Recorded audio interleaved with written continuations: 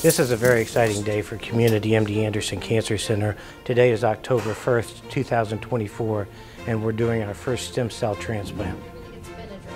Today is the day we infuse the uh, stem cells into the patients. These are his own stem cells that were collected you know, maybe about 10 days ago. They've been uh, frozen, so uh, we will thaw them uh, near the bedside and uh, then take them there where they, the nurses will infuse and uh, we will be monitoring the patient carefully for any side effects.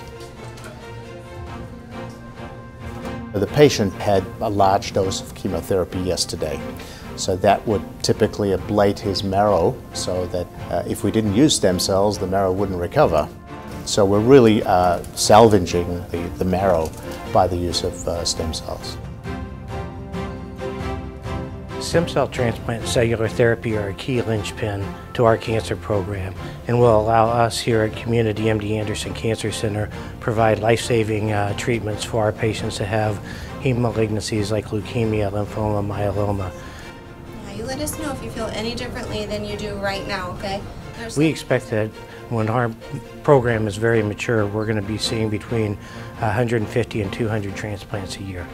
And this is very important for those individuals here in the state to have ready access to high quality care.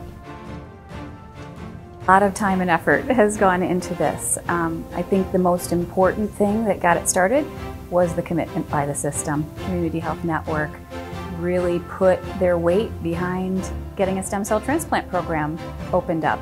And without that support, we really wouldn't be anywhere right now.